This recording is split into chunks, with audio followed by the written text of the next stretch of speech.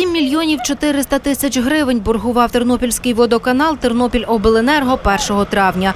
Борг великий, визнають водоканалівці, і щодня він росте. Тому й попереджень від енергетиків було вже кілька.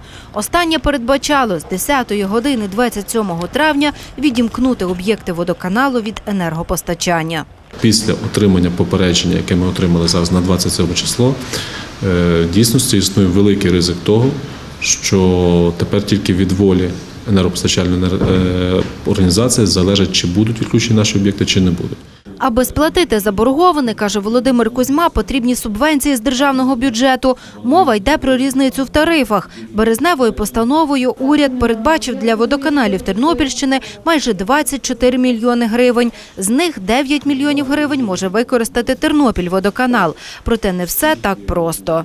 Якщо йти за схемою, яка прописана в постанові Кабміну, то ми повинні замкнути кошти, які йдуть з державного бюджету, проходять через нас, е, йдуть в рахунок заборгованості за спожиту нами електроенергію до обленерго. Далі е, від обленерго вони йдуть на енергоринок. З енергоринку вони також повинні прямо або посередковано потрапити е, в державний бюджет. Тобто з бюджету вийшли, в бюджет повернулися. Так ось це остання ланка з енергоринку до державного бюджету. Вона наразі не замикається по всій Україні. Тобто бажаючих закрити протокольно свої борги є багато, а боргів перед бюджетом не так вже й багато. Тому на сьогоднішній день, наскільки я знаю, жоден водоканал, ну з тих, що в крайньому разі ми спілкуємося, ще цією схемою не скористався. Ми також з цього приводу зверталися в наше профільне міністерство.